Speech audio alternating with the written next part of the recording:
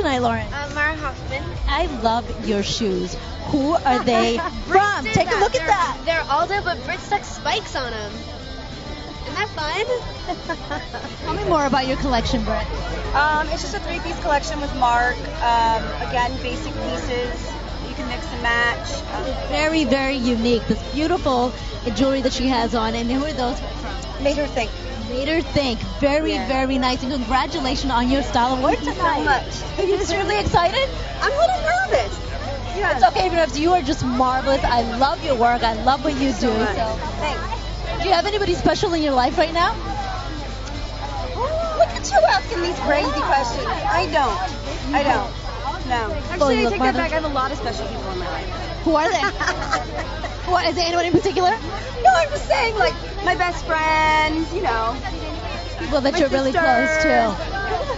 Uh, tell me a little bit more about your collection that's coming out. What's the hottest thing for fall?